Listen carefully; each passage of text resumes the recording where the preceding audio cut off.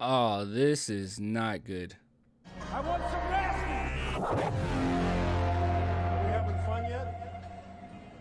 All right, guys. So we're talking about Shaedon Sharpe, and I have to say this is not looking too pretty for him. So we already discussed this previously, um, but NBA execs aren't sold on Shaedon Sharpe. Now this this is gonna kind of feel like a continuation of another video I did in which I said Shaedon Sharpe is starting to scare me, and I gave some reasons why I wasn't 100% sold on Shaedon Sharpe anymore. But we'll talk about that in a minute. Let's go straight into this article, and then we'll just go ahead and give our thoughts on it. So.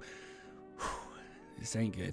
Show me where the five star ish is. So, as we can see here, we'll go straight to the quote. A Western Conference executive told the Athletic's David Aldridge of Sharpe, How the F can you be the fifth pick in the draft if you haven't played in a year and a half? It's not like it's James Wiseman and the guy is seven feet tall. Show me where the five star ish is. Show me.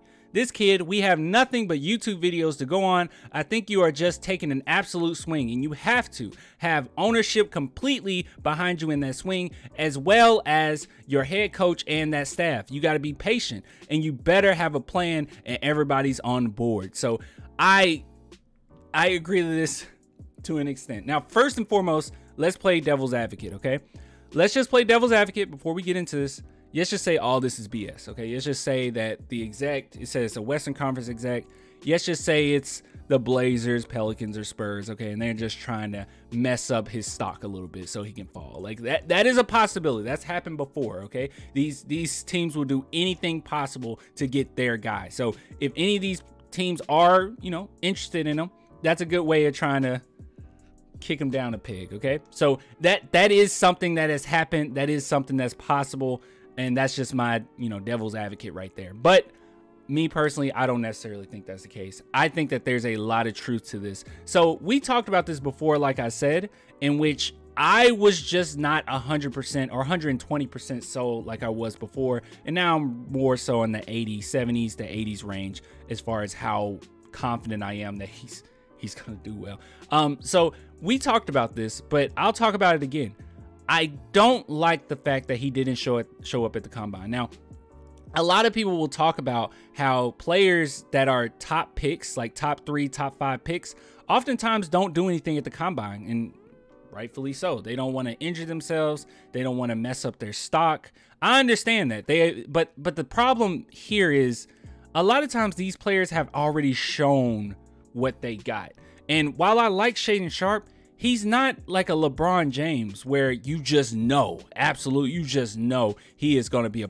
He's not like that, and, and it's one of those things where we see the talent in clips.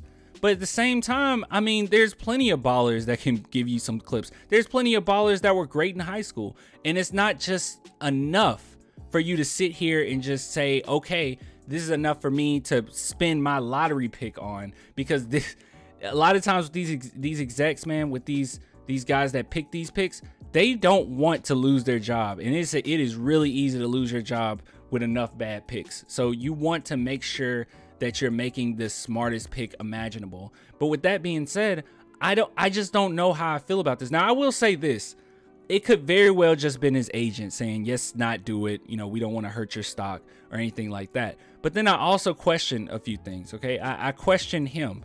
Um, is this showing a lack of confidence? Is he afraid that if he's shown that he's not as good against these guys, that it will hurt his stock? You know, I do question that because I don't do that with the other guys only because they have shown something already. Um, but with him, I do question that. Like, are you afraid that it's going to hurt your stock? Do you think that you won't be able to show anything? Because he did nothing at the combine, and, and that's that's troublesome. Okay. Um, and also I question this: Is it a sign of arrogance? For you to think that you don't have to, that you're just in the same category as all these other guys. I don't know. Now, I'm not going to go and just put those labels 100% on him cuz I I don't I don't know. He seems like a really cool kid. He seems laid back. He seems he seems like a nice kid. But at the same time, I think that this is just a really bad look. It's, it's just not a great look right now.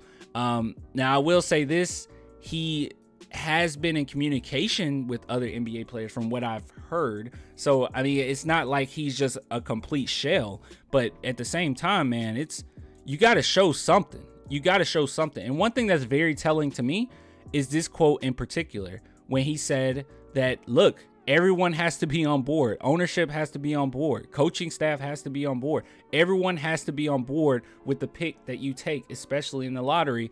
And I just don't know if every single person in in that office is going to be on board with Shaedon Sharpe. I just don't know. I don't know. Um, but as it stands right now, it looks like his stock is falling. And this could very well, like I said, be a ploy just to make his stock fall. But I think it's pretty legit. Um, I, I because maybe it's just because I'm starting to agree with it, but I don't know. So you guys let me know what you think. Um, I'm not hundred percent like not sold on Sharpe. Like I still like Sharpe. I think that he has a lot of talent there. But man, if, if you got some of these players available, I mean, do you take Shaedon Sharpe over Dyson Daniels? I don't even know. I don't even know anymore. I don't know. So you guys let me know what you think. Um, I'll get with you later. If you want to support the channel, only $2 per month. Um, Patreon, YouTube members, link in the description. So uh, thanks for all the love. Until next time, deuces.